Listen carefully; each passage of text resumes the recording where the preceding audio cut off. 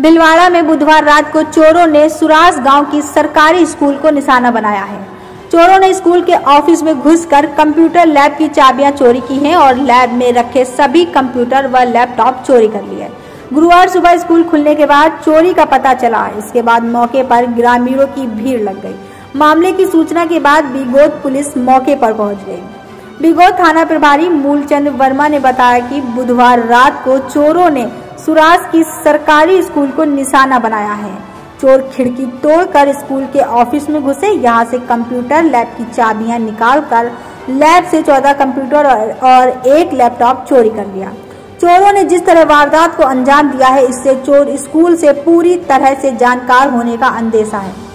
घटना को लेकर प्रिंसिपल ने थाने में रिपोर्ट दर्ज करवाई है। पुलिस की ओर से चोरी को लेकर जाँच शुरू कर दी गई है और आसपास के क्षेत्रों में संदिग्धों से पूछताछ भी की जा रही है। Bureau report, IPN.